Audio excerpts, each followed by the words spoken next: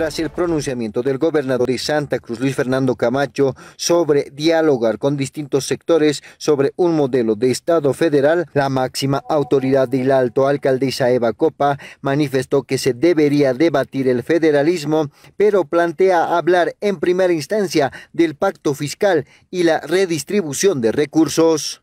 Está bien que se ponga en mesa y pueda, se pueda debatir, ¿no? Así que está bien para debatir, pero lo primero que deberíamos de sentarnos y debatir en esa es el pacto fiscal, fiscal y la redistribución de recursos para nuestras ciudades.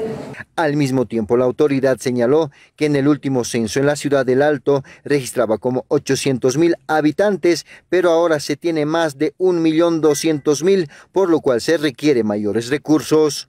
Los recursos que nosotros percibimos es casi nada con la necesidad que tiene la ciudad. En el primer censo nosotros teníamos casi 800 mil y pico de, de, habitantes, ahora somos más de 1.200.000 y requerimos mayores recursos.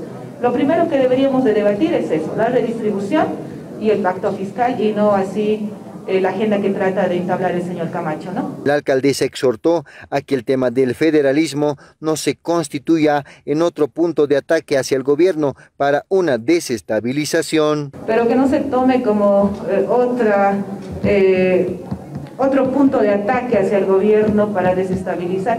Yo no estoy de acuerdo con la desestabilización ni del gobierno central, ni departamental, ni municipal. Realmente eso nos causa mucho conflicto en la gestión.